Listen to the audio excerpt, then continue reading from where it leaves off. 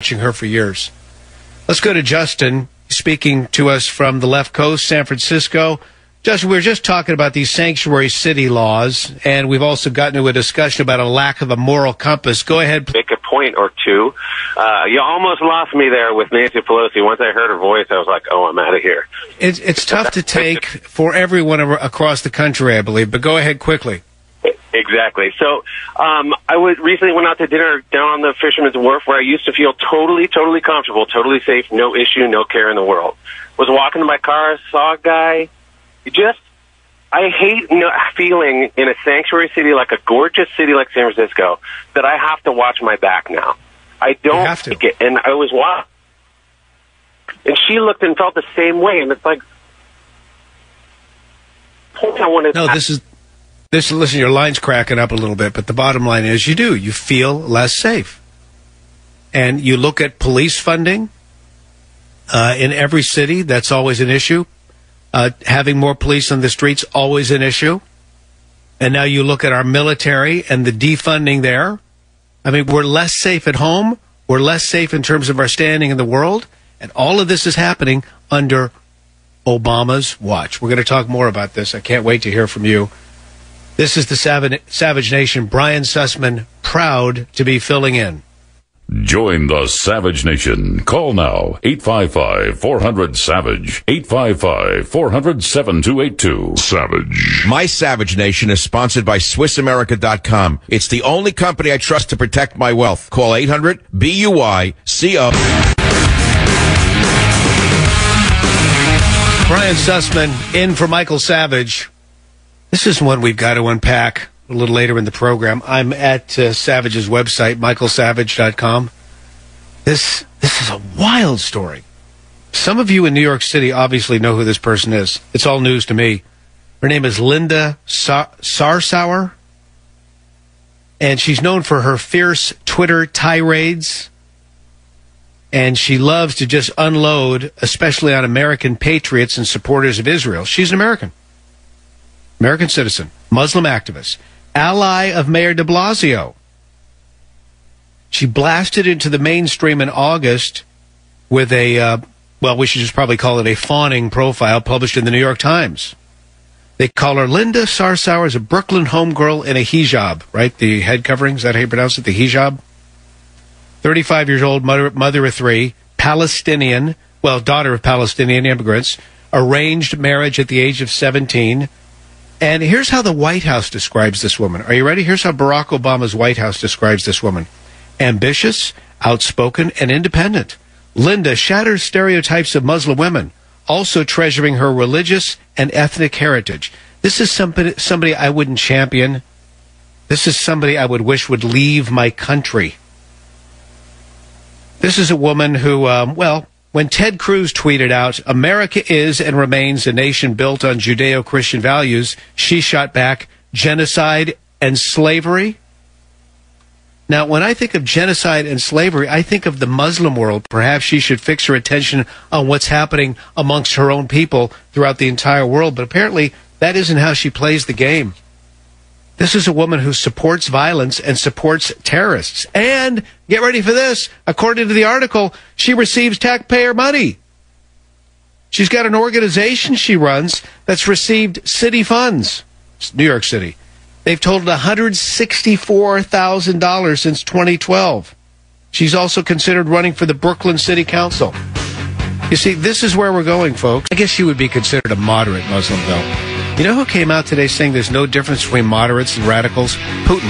Putin actually said that. We'll talk about it. Can't wait. Brian Sussman filling in for Michael Savage on this, The Savage Nation.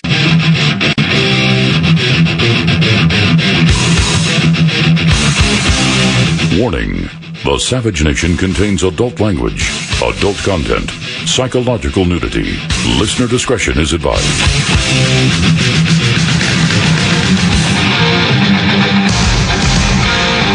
And now, America's most exciting radio talk show, The Savage Nation, home of unprotected talk, borders, language, culture. And here he is, Michael Savage. Brian Sussman filling in for Michael Savage. Tuesday's the day, by the way. Tuesday's the day Government Zero comes out. No borders, no language, no culture. Government Zero. No borders, no language, no culture. Government Zero. No, no, no. No borders, no language, no culture. Savage is sounding the alarm in this book how the progressives and their cohorts in crime, their cohorts in the destruction of America, the radical Islamists, are each unwittingly working towards similar ends to destroy Western civilization and remake it in their own respective. This is Government Zero. It's coming out. Order it online. Go to michaelsavage.com. michaelsavage.com. Uh, we were talking, and by the way, we've got a lot to come. Michael's going to be with us next hour, so to speak. There is, this is actually a story that's at WorldNet Daily entitled We've Lost the Battle but it has to do with a transcript of Michael on this program talking about this this war over the future of Western civilization is being lost. It's being lost because millions of immigrants from the Middle East who largely oppose Judeo Christian values and have no intention of assimilating are flooding the United States and Britain and France and Germany and other nations. So you're going to hear Savage talk about this in the next hour. But this is that mass, chaotic, systematic, institutionalized immigration that's taking place before our eyes. This is, folks, the fundamental transformation of America. No one took him seriously when he said that, did they? Well, certainly some of us did. But even then, I don't think I had any idea what was about to occur. See, this is a guy who is trying to get even. Get even. He was raised in a cauldron of American hatred, in my opinion. His mother's the lefty world traveler. His father didn't give a rip about the United States of America, simply came here for an education, then went back to Africa. He was raised in this culture. Then he moved to Indonesia, where, of course, there was this anti colonialist mentality. Then he comes back to uh, Hawaii and he becomes a doper and a coker and a midnight toker and after that, he goes to Occidental and he has all of these friends with interesting last names from the Middle East. And he journeys to Pakistan. You know, other kids in college on their spring break or summer vacation, they're going to fun places, right? He goes to Pakistan. And to this day, it's very curious how he got there. No one really knows. I don't know if a travel ban was in place, but how do you get there? Did you have an American pass? Well, we don't want to get in the weeds on that. But I think the bigger question is why would you go there? In 1981, that was a hotbed of hatred and Islamist activity. Why would you go there? So, what he's doing right now is fundamentally transforming America before our very eyes. Uh, someone showed me pictures, and again, I'm speaking to you from the left coast, the San Francisco Bay Area uh, a listener to my show on KSFO in the morning and to Michael Savage's show in the afternoon. Uh, she showed me some photographs of this this compound in a little town called Freedom, California. It's it's near Santa Cruz, which is about 85 miles south of San Francisco. She was showing me this photograph, these photographs, and uh, I, I, knew, you know, her husband's involved in real estate. I'm thinking, what are you, you guys planning on buying one of these beautiful apartment comp. It was this beautiful.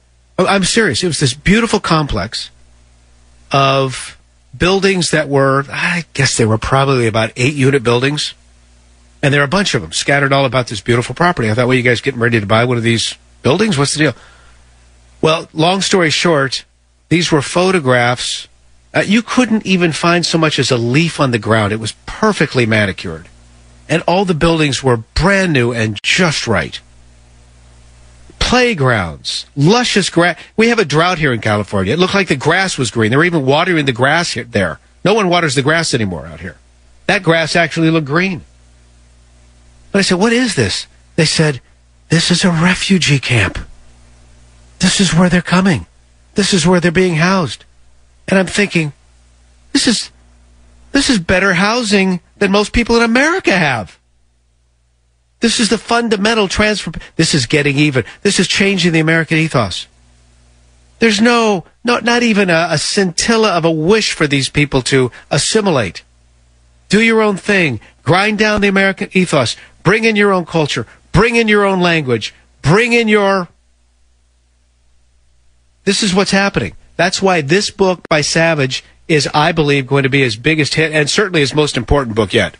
I've heard him talk on the radio. He said, "This is this is my last shot."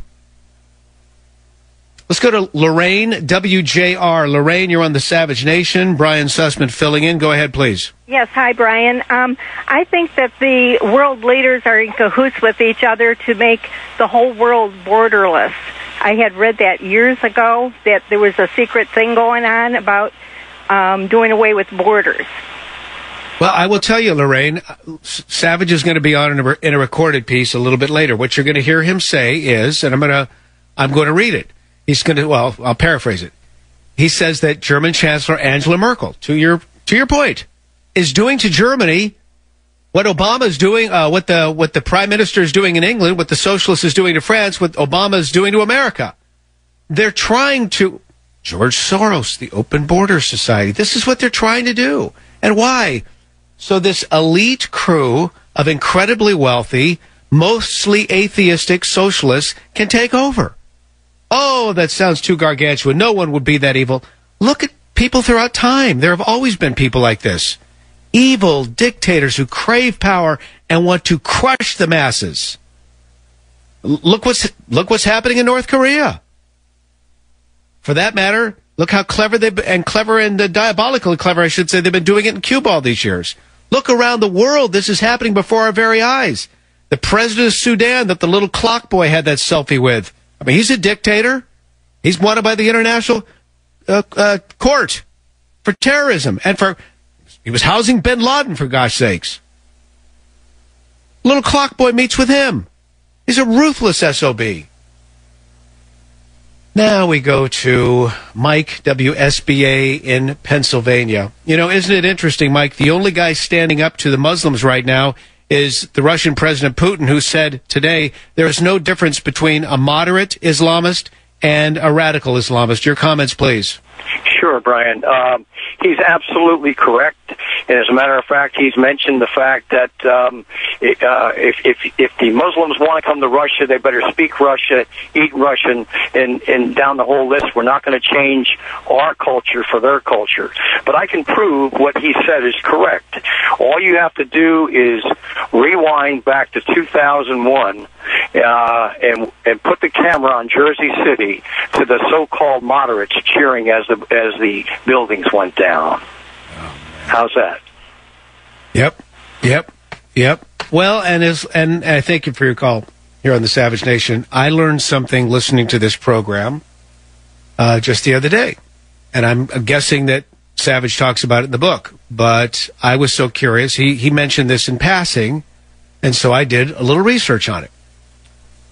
And this goes to the point of these past callers. And by the way, as you know, um, the lines are open here on the Savage Nation, 855 400 Savage. But the term is, are you ready for this? The term is, let me find it because this is very important. And it's what's happening in the United States of America today. It's what happens when a Muslim immigrates to another land when they immigrate to another uh, Hijra, I believe is how you pronounce it, H I J R H R A H, Hijra. It's a special blessing in the Quran for those who immigrate to foreign lands and raise their families amongst the infidel. Hijra apparently means living in the land of disbelief. So you go, and as a sacrifice to Allah, you, la- you live in this area where they don't believe. And it's not so much that you're supposed to proselytize those around you. It's, from everything I've been able to read, it's that you're supposed to overpopulate them. That's how you do it. In fact, I'm reminded of Yasser Arafat. Remember Yasser Arafat? He was the guy that ran the PLO, uh, the Palestinian Liberation Organization. The guy who currently runs the Palestinian territories, Mahmoud Abbas, whose uh, name used to be Abu uh, Abu Maz, uh, well, whatever, Mahmoud Abbas. Abu Mazen was his name previously. Mazen was the financier for the PLO. Nobody knows that. Now he has a Hugo Boss suit and he looks really sharp. He was the financier for the PLO. Yasser Arafat said this We will defeat you with our wombs.